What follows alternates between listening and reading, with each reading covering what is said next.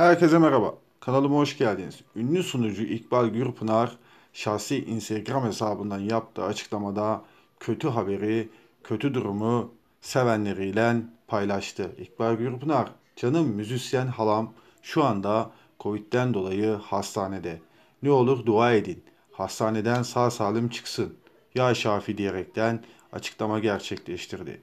Tüm hastalara Rabbim şifa versin diyen İkbal Gürpınar, canım alam, yıllarca yatalak babaanneme baktı. Yaptığı iyilikleri Rabbim karşısına çıkarsın. Ya Şafi, Ya Şafi, Ya Allah.